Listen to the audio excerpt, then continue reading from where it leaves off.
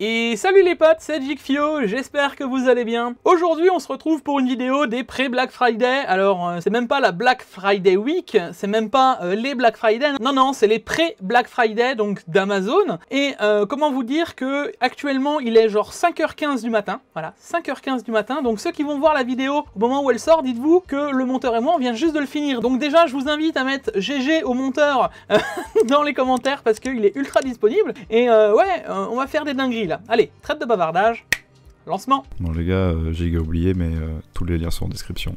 Allez, bisous.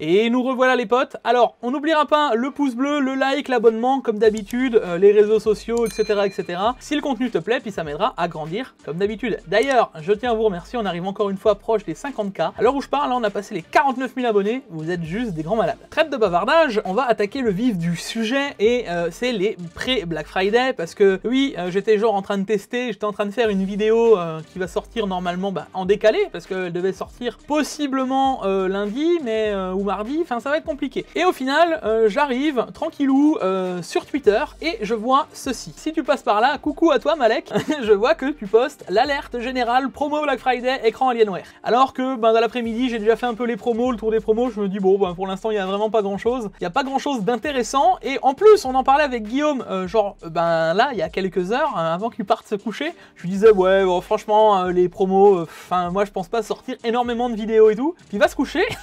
je tombe là-dessus. Alors, Guillaume, si tu passes par là, je m'excuse d'avance. et euh, voilà, donc il est quand même possible que Guillaume sorte aussi une vidéo s'ils font des mages, parce qu'apparemment, euh, ça a l'air de bouger tout le temps, tout le temps, tout le temps. Et vous allez voir qu'au niveau stockage et au niveau de la RAM, on a quand même de sacrés dingueries. Allez dans les timecodes, parce que tout le long de la vidéo, je vous ai mis des timecodes. Donc si vous n'êtes pas intéressé, par exemple, par, euh, ben, je sais pas, de la RAM, passez tout de suite au stockage, etc., etc. Je vous ai tout noté, donc si vous êtes plus intéressé par un composant qu'un autre, allez-y, ça va être beaucoup plus rapide pour vous. Bon, et encore avant de commencer tout ça, on va juste parler de l'application euh, Kipa. Alors ça c'est euh, Guillaume qui m'en avait parlé, donc K-E-E-P-A. Euh, c'est pour voir l'historique des prix sur Amazon, la fluctuation de prix, etc. Parce que faut quand même se rendre compte que ça m'a pris là 3 ou 4 heures de tout trier, parce que entre les vrais et les fausses promos, on, connaît, hein, on connaît les Black Friday. J'ai essayé quand même de vous trier des prix intéressants. Alors vous verrez que par exemple chez Logitech c'est les prix habituels, mais pour ceux qui voudraient ben, acheter ou qui attendaient ces prix habituels, ça peut être intéressant. Donc euh, si vous voulez installer, donc vous voyez, hein, c'est compatible avec quasiment euh, tous les moteurs de recherche, pensez à l'installer, et je vais vous montrer plusieurs fois euh, l'historique des prix, mais il y a des, quand même de grosses, grosses dingueries. Bon du coup, on attaque avec le stockage en premier, les amis, et on attaque avec du lourd, du Samsung 980. Donc là, on est sur du 500 Go, on a le copain en 1 Tera, hein, juste après, avec de la mémoire MLC, donc en 500 et en 1 Tera. On est sur du NVMe 3.0, mais le prix est juste ouf. Hein. Pour du 500 Go, les gars, c'est le prix qu'on retrouve les SATA. Là, on est sur du NVMe. Euh, pour ceux qui veulent se monter des configs, là maintenant, euh, foncez. C'est, je pense, le meilleur prix que j'ai jamais vu sur du 980, même sur du 970 à l'époque. Enfin, ça n'existe pas. j'ai jamais vu ce genre de prix et c'est vraiment, vraiment intéressant. Et là, je vous le remontre au niveau euh, des prix. Hein. On avait vu une fois une descente de prix à 53 euros et là, on est encore en dessous. Donc, on est ici hein, pour vous rendre compte. Et là, je suis vraiment en all day. Donc, enfin, c'est assez ouf. Et d'habitude, on le retrouve plus aux alentours de 80 euros. 80, 70 euros, voilà, pour vous donner une idée. Donc vous voyez, Kipa, vachement pratique, vachement utile. Donc juste après, hein, pareil, le 1 Tera, 1 Tera, 83,99€, c'est le prix des SATA 3 les gars. C'est vraiment euh, dingue au niveau des prix. Là pareil, hein, je vous le mets en haul, et vous voyez qu'on a déjà descendu à des prix euh, bien, bien bas. Hein. On a vu des 90 euros, 95 euros, mais jamais aussi bas qu'ici, quoi. Enfin, là, voilà, 83,99. Ensuite, on enchaîne avec peut-être un peu moins intéressant, c'est les QVO euh, de chez Samsung. Euh, donc là, on est sur du QLC, hein, c'est pas forcément euh, ultra ouf. Mais bon, pour faire du stockage mort ou juste du jeu vidéo, ça va très amplement suffire, les amis. les puristes, je vous vois arriver hein, dans les commentaires. Laissez tranquille les gens qui prennent du QVO pour jouer, ça suffit. ça suffira. Et bon, là, c'est intéressant de les présenter parce que pareil, au niveau des prix, ils sont bien bas. 71 euros le 1 Tera, et s'il y a plus de 980 dispo, ben prenez peut-être du 1 Tera en QVO, ça peut rester intéressant. Pareil au niveau des prix, hein, vous voyez, euh, on a eu déjà des descentes de prix beaucoup plus basses, mais on reste dans la partie ben, la plus basse de ces QVO. Euh, on a des fois des descentes de prix qui piquent un peu plus bas, mais bon, ça reste intéressant. Ensuite, on enchaîne avec le 2 Tera et 134,99€. On retombe encore une fois dans les prix les plus bas. Mais c'est pas fini les amis parce qu'ils ont aussi mis en promo le 4 Tera et 255,99€. Alors euh, j'avais aussi regardé au niveau des prix, on retombe dans des prix les plus bas euh, en tout cas les trois derniers mois et euh, même ever. Hein. genre, on n'a jamais vu un prix aussi bas pour du 4 Tera, surtout en SSD. Je le redis, ça vaut vraiment vraiment le coup, même si c'est du QLC. avoir un 4 Tera SSD, même pour du taux de transfert, si on fait du stockage, des vidéos ou autre chose, ça peut devenir intéressant. Voilà. On déménage ensuite sur du crucial avec les P5. Alors là, on change totalement, on passe sur du 4.0 en NVMe, les amis. Là, pareil, prix ultra intéressant, 128,99€ pour du 1 Tera en PCIe 4.0. C'est littéralement le prix des SSD NVMe en 1 Tera en 3.0. Donc euh, bon, grosse chute au niveau des prix, c'est vraiment intéressant. Hein. Pour ceux qui font des gros taux de transfert de vidéos, ça peut vraiment être intéressant. Et pareil au niveau des prix, vous voyez, euh, on a déjà eu des prix similaires, mais on est dans la partie la plus basse des prix actuels. Donc pareil, on a le petit frère en 500 Go qui est disponible à 73,99€. Et ensuite, on passe sur les P2 qui sont eux un peu moins intéressants en TLC en 3.0. Mais euh, pareil, là, un 2 Tera, les amis. Donc là, on a le double de stockage en NVMe pour 129 euros. Et Crucial, là, bah, ils ont complètement craqué du slip avec le P2 parce que euh, là, c'est le prix des 1 Tera. enfin, on le retrouvait à plus ou moins 100 euros, mais à 30 euros près, on a le deuxième offert, quoi. Enfin, c'est un peu une dinguerie.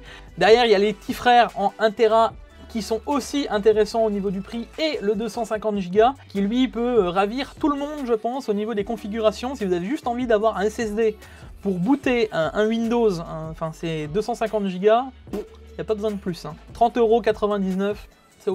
Et si vous arrivez un peu en retard sur la vidéo, vous avez encore les MX 500 1 Tera, donc là on est en SATA 3. Alors euh, bon pour le coup c'est pas forcément les prix les plus bas qu'on aura vu comparativement à du NVMe, je pense que vous l'aurez compris. Mais malgré tout pour du MX 500 on reste dans la partie basse des prix, donc 78,99, euh, euh, enfin que dire.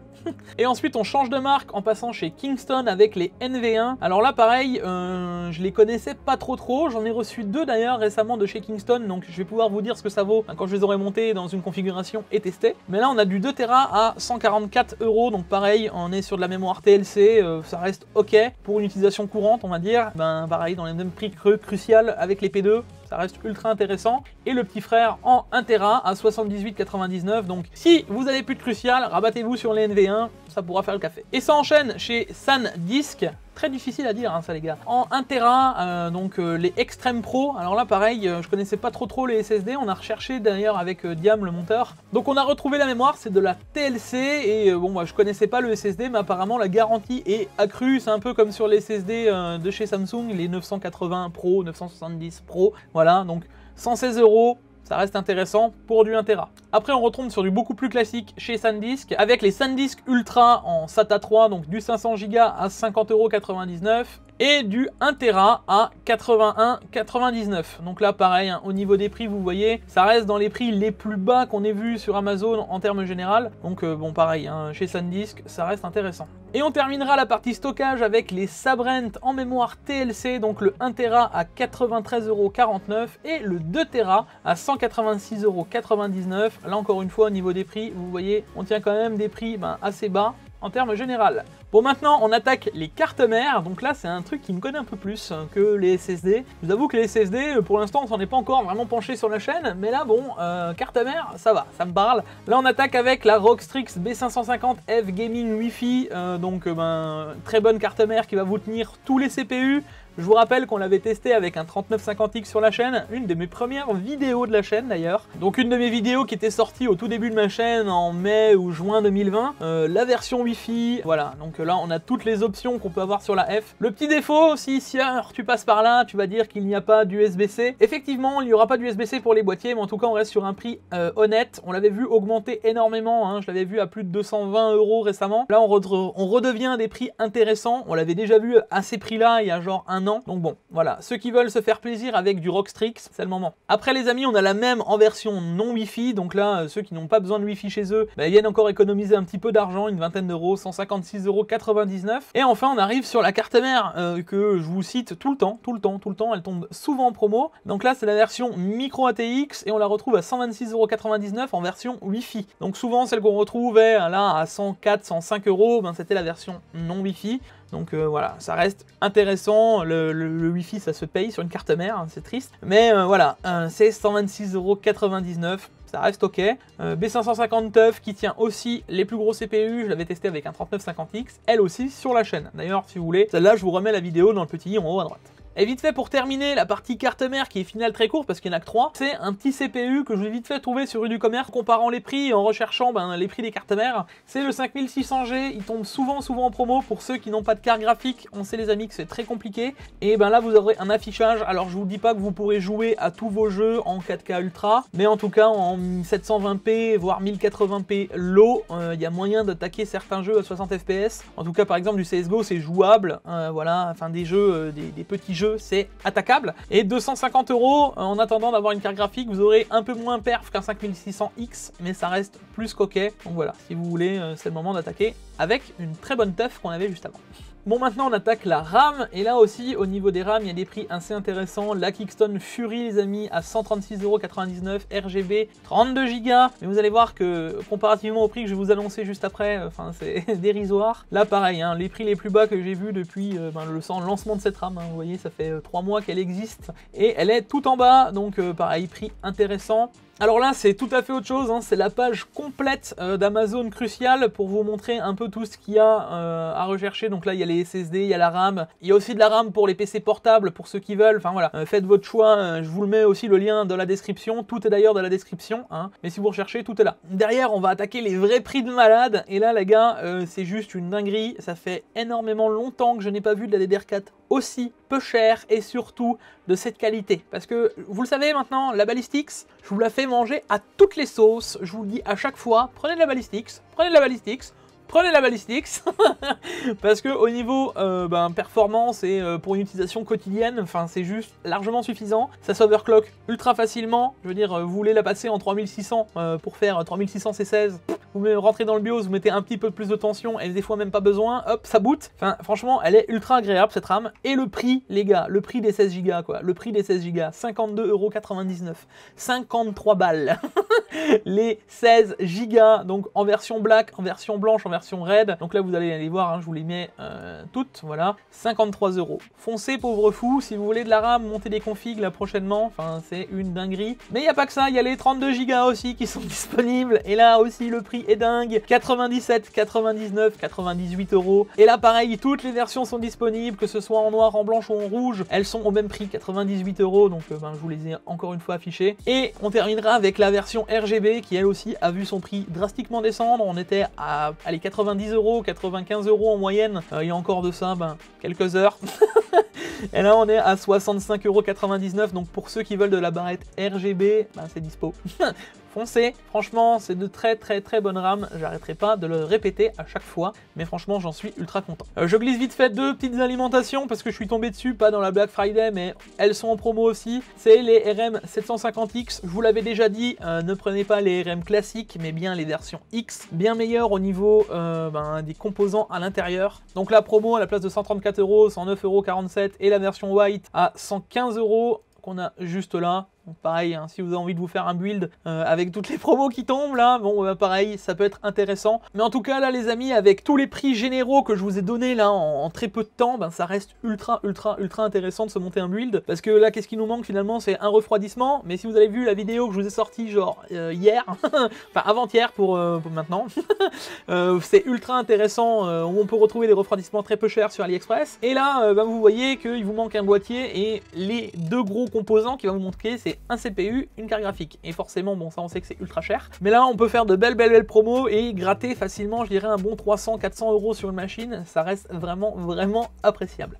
Bon, je sais que sur la chaîne on parle très très rarement, c'est les PC portables, mais là il y avait quelques offres aussi intéressantes du côté des PC portables. Donc on attaque avec un Asus Zephyrus G15 et pas n'importe lequel, hein, 2299 euros. Alors j'ai traqué un petit peu les prix, euh, on le retrouve à 2800 euros en général. Là c'est le prix le plus bas, vous le voyez, hein. bouf, il a descendu d'un coup, 2899. Là il avait fait une petite descente à 2500 euros, mais il était vite remonté à 2800. Et au final, euh, une dinguerie, hein, 5900, euh, donc un Ryzen 9 à l'intérieur, donc le HS, 32 Go de RAM, rien que ça, un SSD de 1 Tera et une RTX 3080, le tout avec Windows, hein, parce que à ce prix-là, on peut se mettre Windows. Que dire, les amis? Je pense que ce PC portable, euh, en termes de prix, C'est ouf à l'heure actuelle. Parce que si vous prenez juste le prix, alors ce sera pas la même performance qu'une 3080 desktop, mais si vous prenez juste le prix de la 3080, les gars, qui vaut actuellement 1500 euros euh, sur tous les shops, vous pouvez vous dire que là vous avez un euh, PC fini, alors ça reste un PC portable, mais franchement, c'est ultra ultra intéressant en termes de prix, c'est assez assez dingue. Et on va rester chez Asus côté PC portable avec l'Asus TUF A15, donc en 15,6 pouces, avec un i7 11700H, une 3060, donc un PC ok pour jouer même sur un autre écran, hein, si vous branchez un écran externe. Ça reste un PC portable à l'heure actuelle euh, d'entrée de gamme pas trop cher, à 1300 euros. Alors là, euh, le prix est, pas, est barré, mais je l'ai pas retrouvé déjà ailleurs dans un autre shop, on n'arrive pas à le retrouver, on a galéré les amis à retrouver le nom du CPU, parce que Asus, si vous passez par là, pensez à mettre par exemple le CPU dans la fiche produit, ça peut être cool.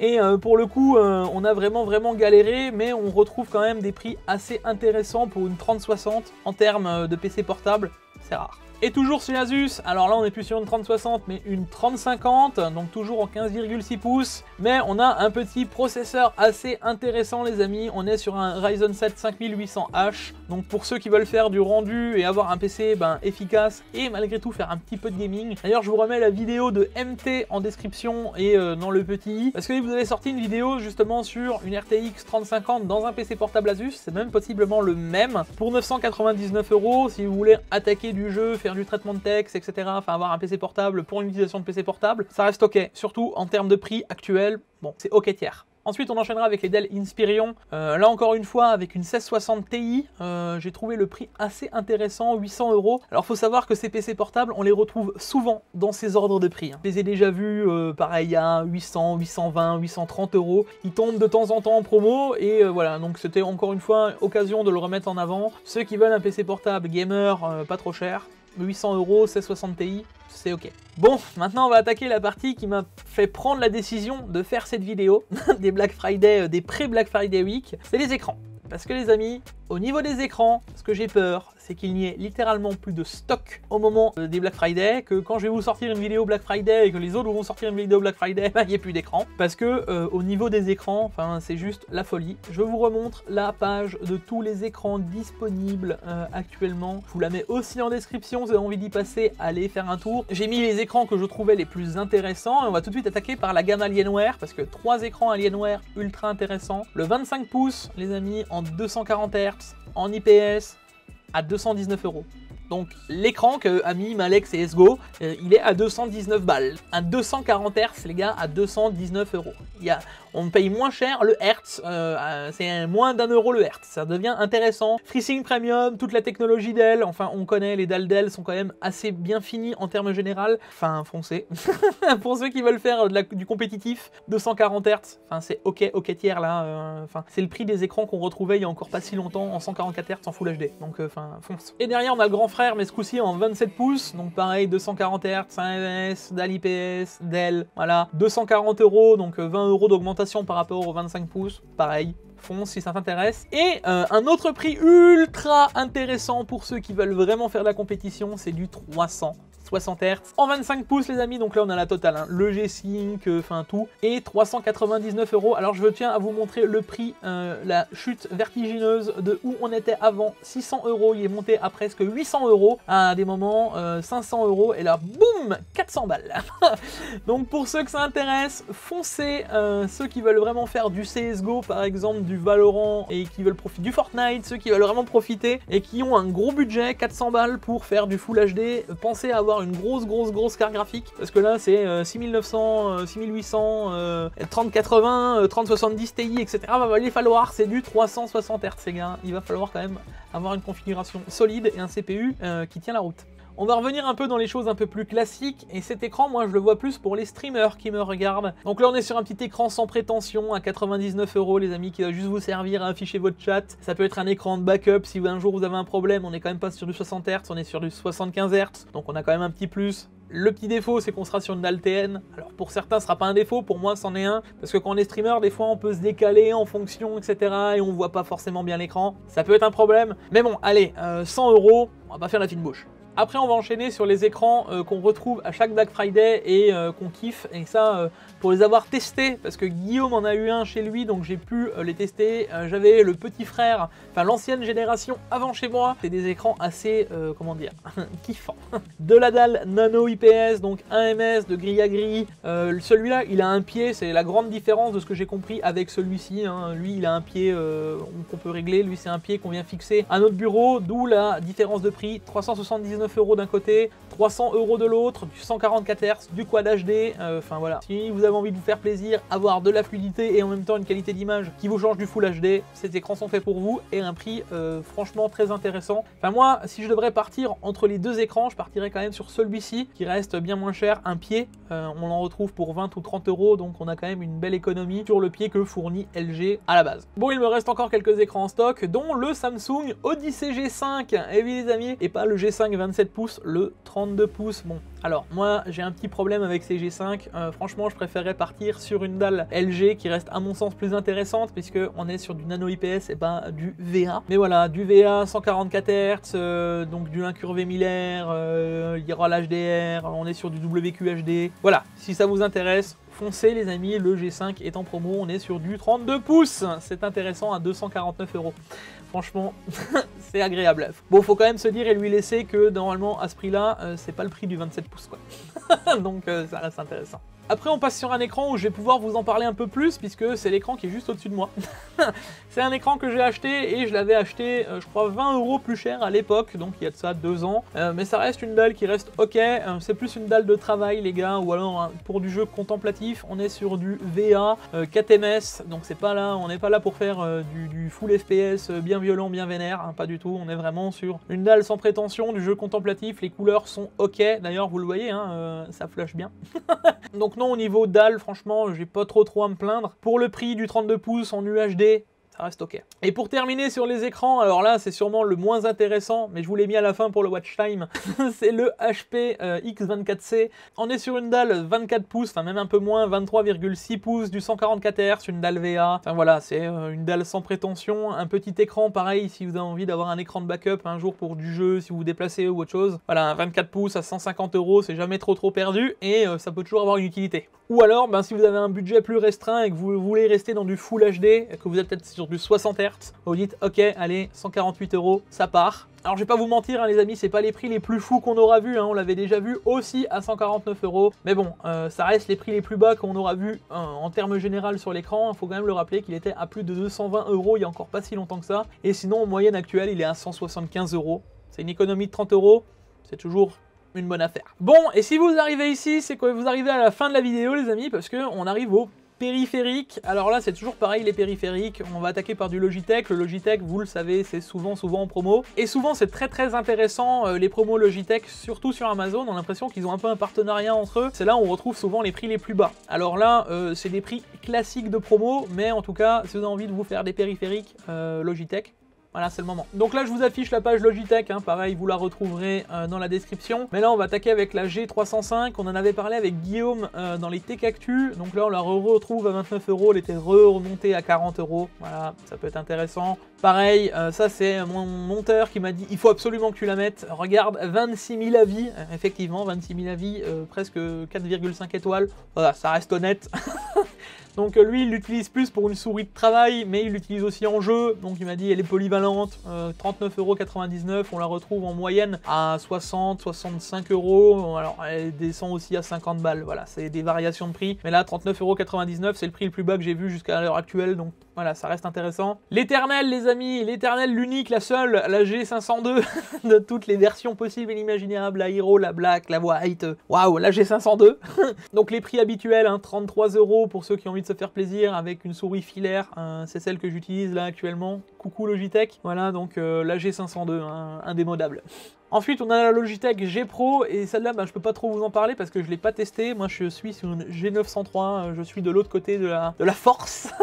Mais apparemment, la G Pro est une excellente souris. Alors, dites-le moi dans les commentaires d'ailleurs, euh, qui a des G Pro parce que j'ai énormément entendu parler de cette souris euh, en termes communautaires, mais je ne l'ai jamais testée. C'est peut-être le moment hein, que j'en achète une et que je la teste. Alors, pareil, on a dans des prix avoisinant les prix qu'on voit d'habitude. 75 euros au tiers. Pour terminer chez Logitech avec un clavier, le G815. D'ailleurs, pour l'instant, on n'a pas vu d'autres claviers et d'autres périphes. hein. J'espère que ça va se mettre à jour au fur et à mesure des Black Friday et que on pourra en reparler parce que euh, si on voit, j'ai pas, ben, j'avais un G910, euh, G512, etc. Ça peut être intéressant. Voilà. Là, 129 euros. euh, Je l'ai revu encore à un prix à 140 euros. C'est pas forcément, c'est une bonne moyenne de prix, on va dire. En, termes général, vous le voyez, on le retrouve plus à 189, 190. Il a déjà fait des descentes à 139. Voilà, donc là on est dans la moyenne des prix basses avec 10 euros encore de moins de ce qu'on avait vu sur Amazon.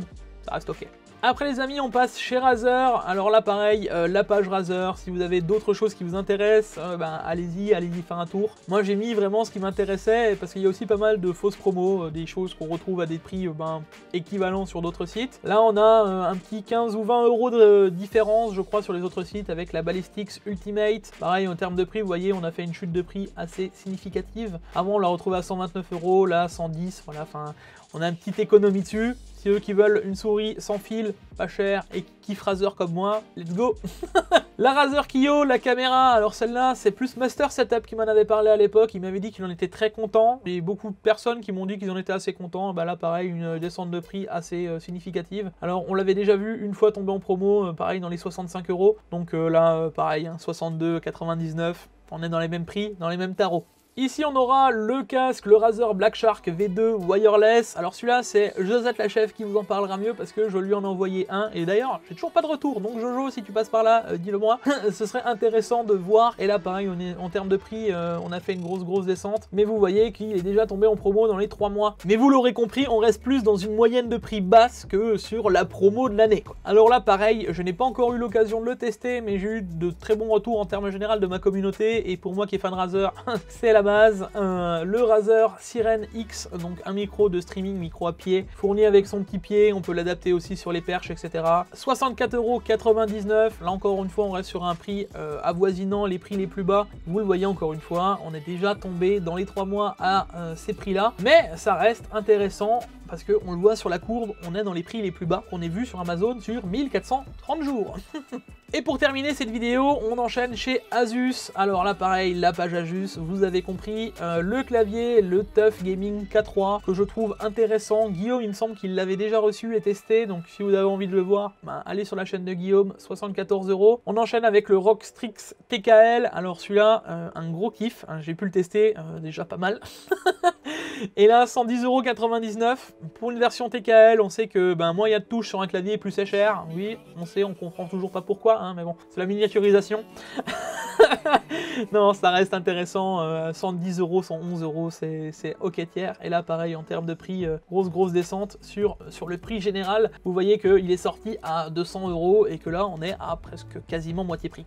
Et pour terminer, alors la petite promo euh, sympathique, même s'il n'aurait pas été en promo, je l'aurais mis, c'est le Rogue Scabbard 2. Alors celui-là, euh, c'est Guillaume qui l'a testé. Moi, je l'ai testé parce que j'ai mangé dessus et j'y croyais pas. Parce qu'on m'a dit oui, euh, tu verras, il est anti-tache, euh, machin, machin, blablabla. Et il est vraiment anti-tache. il a pris du liquide de club de Guillaume, il a pris du McDo de moi, il a pris du Coca, il a pris... Et il est toujours ressorti propre, donc ceux qui ont envie de partir sur un Scabbard 2, euh, allez-y foncez. Le prix est intéressant, 39,99€. C'est dans les prix les plus bas qu'on a vu, donc si vous êtes un fan Asus, pourquoi pas prendre ce tapis de souris. Voilà. Et voilà les amis, on arrive à la fin de cette vidéo et euh, il est 6h01 du matin. Comment vous dire que le montage va être très compliqué et que je dois la sortir bah, assez rapidement? Parce que si je vous la sors pas bah, très vite, vous aurez plus les promos. Donc euh, on va se dépêcher. Donc encore une fois les amis, mettez-moi des gros gros gros GG au monteur parce qu'il va nous faire une dinguerie là, euh, le petit VMware, pour réussir à monter la vidéo qui fait quand même 42-43 minutes. ça va être tendu et ben, j'espère que le contenu vous a plu. N'oubliez pas à lâcher le pouce bleu, le like, les commentaires, etc. etc. comme d'habitude, si le contenu te plaît. N'oublie pas aussi de mettre des liens, euh, si tu vois d'autres liens spawner dans les commentaires, ben pense à les mettre pour les gens qui y passent, ça peut être intéressant. Et les liens ne sont pas bloqués, donc allez, fonce et euh, ben, profitez-en les amis, en tout cas euh, de cette Black Friday, de cette pré-Black Friday. Pour moi, le plus intéressant restera la RAM et les SSD. Et puis, ben, on espère avoir d'autres promos sur les sites très prochaine. C'est tout pour moi, on se retrouve pour une prochaine vidéo, c'était Jigfio, à la prochaine, ciao ciao.